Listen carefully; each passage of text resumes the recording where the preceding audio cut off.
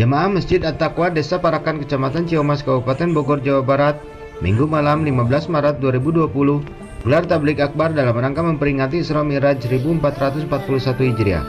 Acara yang dibuka setelah melakukan salat isya ini diisi dengan penampilan tim hadroh Sababur Rasul, pembacaan ayat suci Al-Quran, tahlil, zikir, dan sholawat.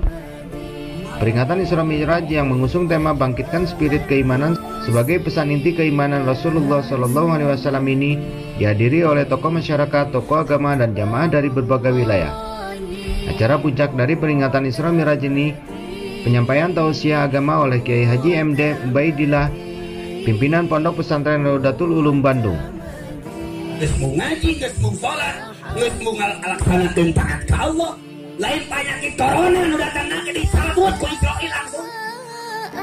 Tapi mana corona mana karek sebab begitu mah aya jalma nu keur hirup keur jogging keur ayeuna batin tawat naon ya aku urang sadaya teh apa kana tauhid ta'arraf ilallah ya'rif kami hiddah bangun tengah malam. Lain keur wungkul. Urang deket Allah teh.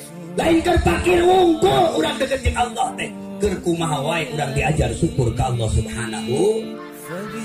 Kegiatan terus dengan baik dan lancar dengan penceramah pertama Kiai Haji MD Ubaidillah dari Bandung dan Polri Internasional Haji Agus Burhanuddin.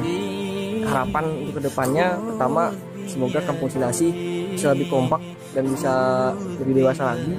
Dan untuk pemuda dan pemudinya bisa lebih berpikir untuk apa bagaimana dan seperti apa ke depannya. Nah, Islam ini adalah motivasi agar kita menjadi orang yang istiqomah menuntut ilmu, rajin berjamaah apa pun karena tujuannya kita berjamaah, musyawarah agar mendapatkan barokah. Itu saja.